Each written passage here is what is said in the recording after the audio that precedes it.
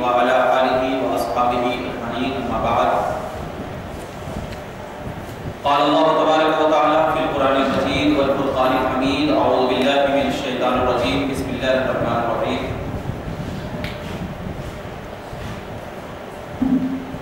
يا أيها الذين آمنوا وابتغوا إليه الوسيلة يا أيها الذين آمنوا اتقوا الله وابتغوا إليه الوسيلة صدق الأمين المتين ونحن على ذلك لمن الشاهدين والشاكرين. والحمد لله رب العالمين. بارگاہ رسالت میں ادب و احترام کے ساتھ درود پاک کا نذرانہ پیش کریں اور پڑھیں. اللہم صلی علی سیدنا و شفیعنا حبیبنا مولانا محمد مبارک وسلم صلاۃ و سلام علیک یا رسول اللہ. صلاۃ و سلام علیک یا نبی اللہ صلی اللہ تعالی علیہ وسلم حضرات گرامی الحمدللہ ہم تمام نے بارہ ربیع الاول کا میلاد بھی کیا جلسے بھی کیے، جلوس بھی کیے۔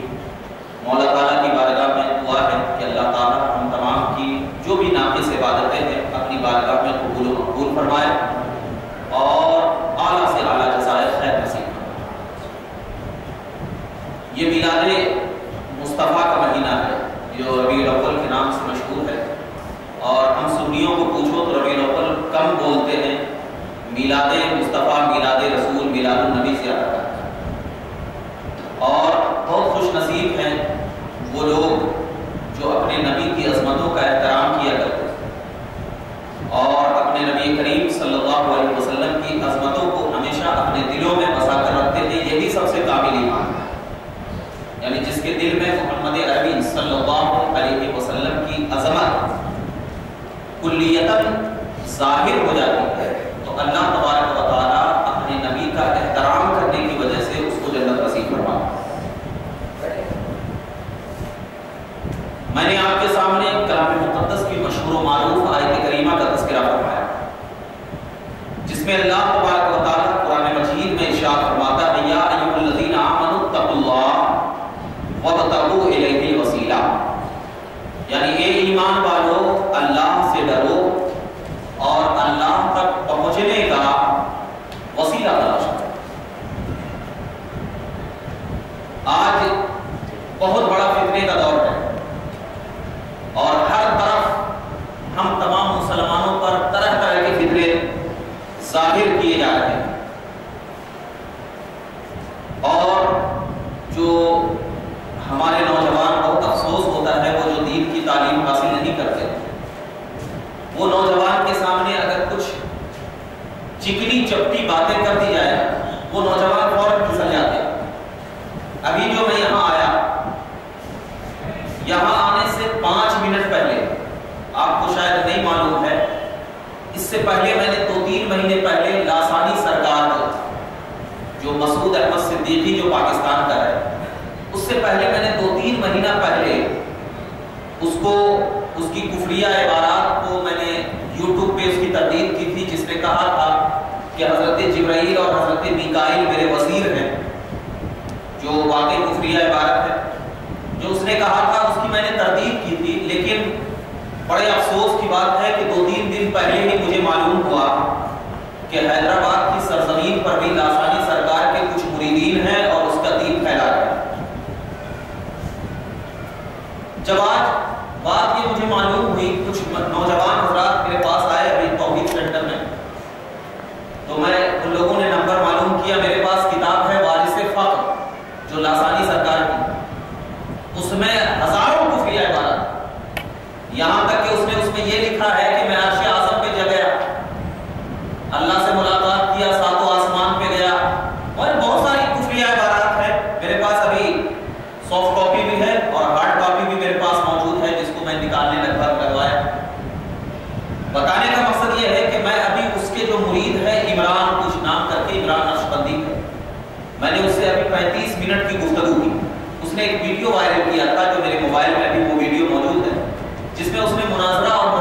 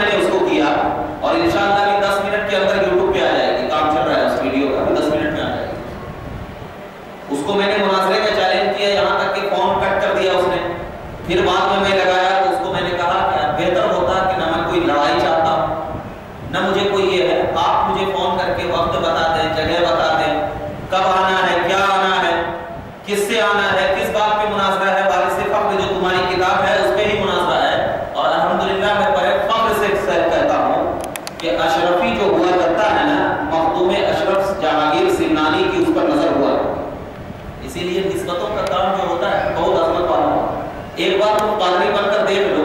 اللہ تعالیٰ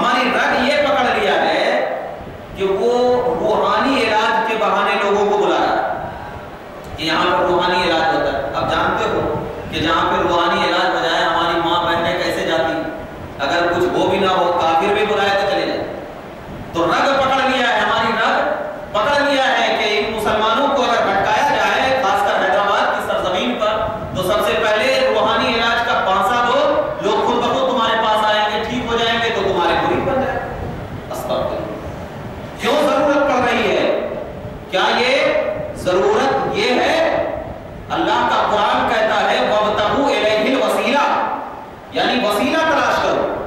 اور وسیلہ صحابہ کرام نے نبی کریم صلی اللہ علیہ وسلم کی ذات کو تلاش کیا۔ ہم سنی حضرات جو وسیلہ تلاش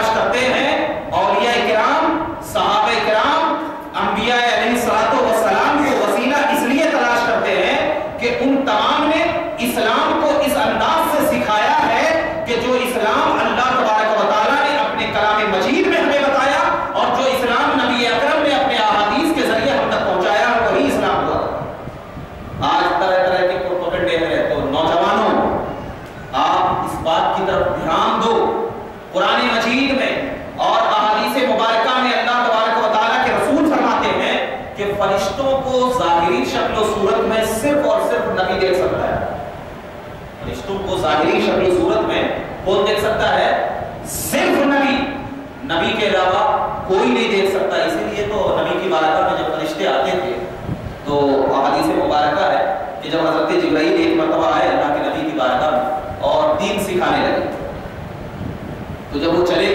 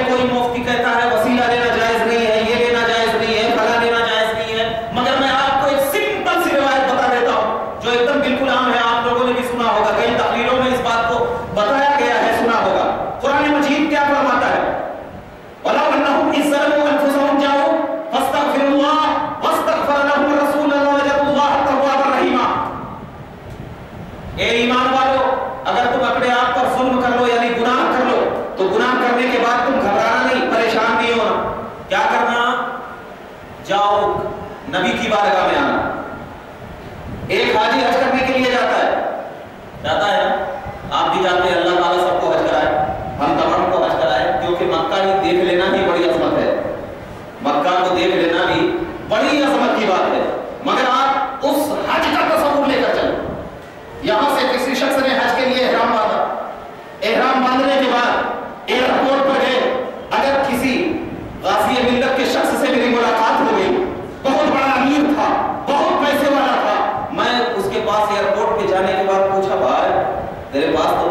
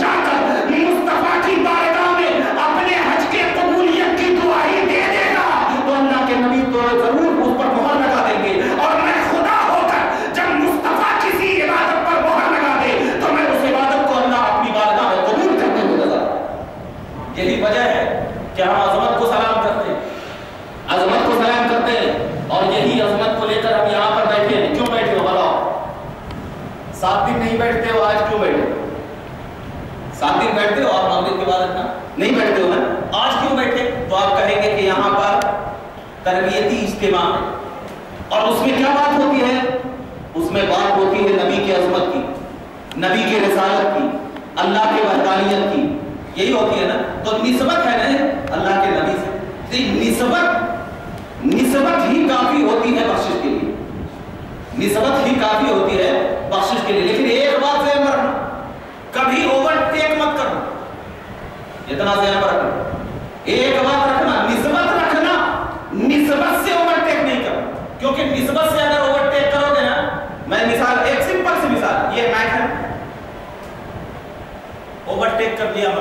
آواز آئے گی؟ نہیں آئے گی نا؟ اگر میں اس مائل کے نیچے رہوں گا، اوپر چلا گیا میں، نیچے رہوں گا تو آواز طریقے پہ رہوں گا تو آواز اوور ٹیک کر لیا تو۔ نہیں نا؟ امتی ہے نا؟ بشر ہے۔ بشر ہے نا؟ یہ تین انگلی دیکھ رہے ہیں دیکھ رہے ہیں نا؟ برابر ہے یہ تینوں۔ نہیں ہے نا؟ یہ چھوٹی، یہ بیچ کی، یہ 我厉害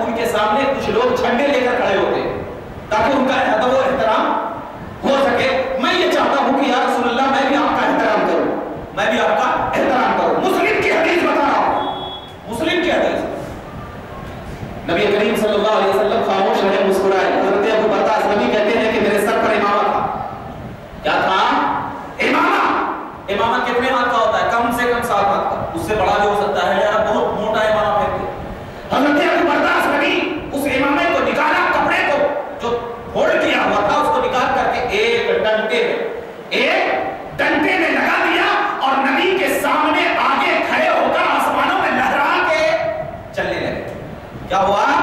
چلنے لگے۔ ان کے پیچھے نبی اور نبی کے پیچھے صحابہ۔ نبی کے پیچھے کیا ہے؟ صحابہ کی ذات ہے۔ ذرا بتاؤ جلوس میں تو یہی کرتے ہیں کہ جھنڈے کو پکڑ کر کے ادب و احترام سے چلتے ہیں۔ یہی تو کرتے ہیں نا۔ اب اور امام مسلم کہتے ہیں کہ جب چلنے لگے تو مدینہ جب پہنچ رہے تھے، ہجرت کے بعد۔ مدینہ جب پہنچ رہے تھے تو مدینے کی بچے اور بچیاں ایک لائن سے کھڑی ہوئی تھی ایک لائن سے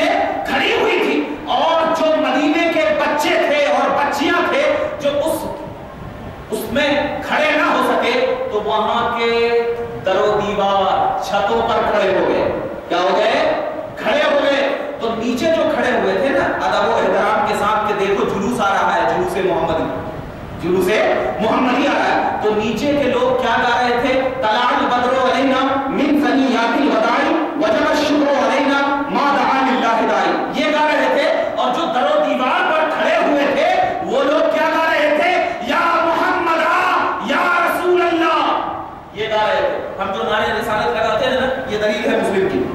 جو نعرہ رسالت لگاتے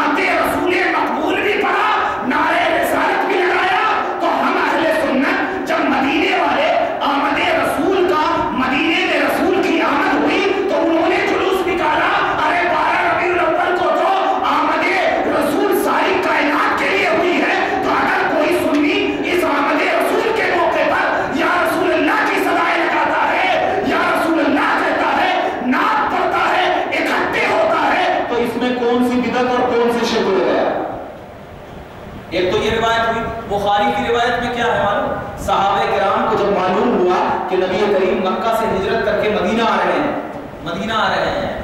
تو صحابہ کرام نے تین کلومیٹر دور ایک پہاڑی ہے، جس کا نام ابھی میرے ذہن میں نہیں آ رہا تھا ایک پہاڑی ہے، وہاں پر اپنے چند بچوں کو جا کر کے کہا کہ تم ادب و احترام کے ساتھ کھڑے ہو جاؤ کیونکہ نبی کی سواری آنے والی۔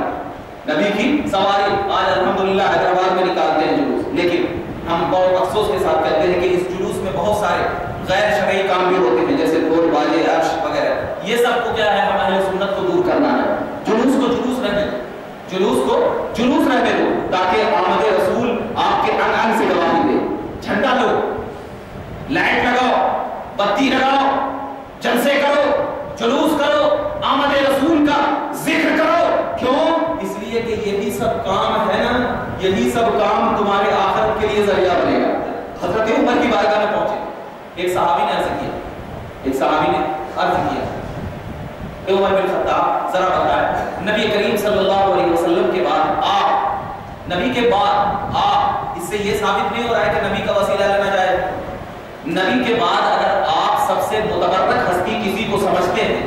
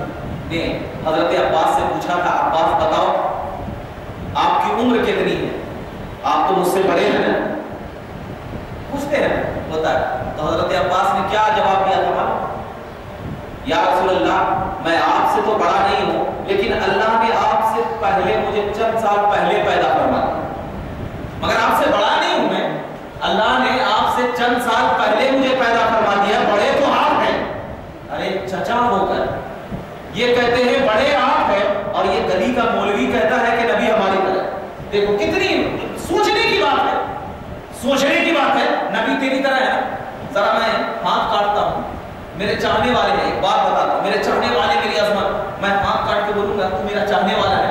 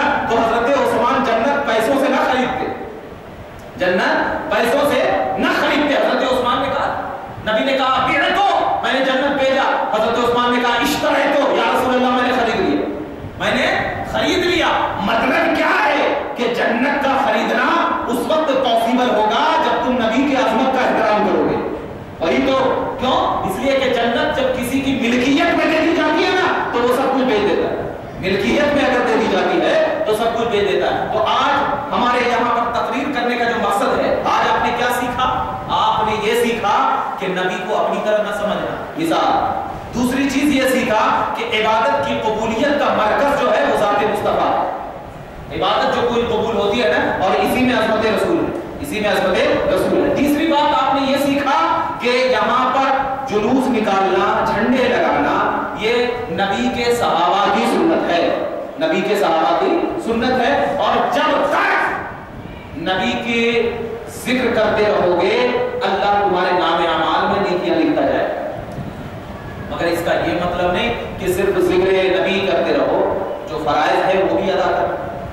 جو فرائض ہے وہ بھی ادا کرنا۔ ایسا نہیں کہ آپ فرض نماز چھوڑ دو گے، یا واجب نماز چھوڑ دو گے، یا لوگوں کو ستانا شروع کر دو گے، یہ سوچ کر، ارے میں تو نبی کی عظمت کا احترام کرتا ہوں۔ ایسا نہیں۔ آج فتنے بہت پھیل رہے ہیں مسلمان، تو آپ کے اندر اتنی صلاحیت ہونی چاہیے کہ آپ اپنے اندر وہ چیز لے کر چلیں جو لوگ آپ پر گمراہ نہ کر سکے بہکا نہ سکے یہی چیز وجہ سے میں آپ کے سامنے نبی کی عظمت کے بارے میں چند باتیں میں نے آپ کے ذکر کیا۔ مولا تعالیٰ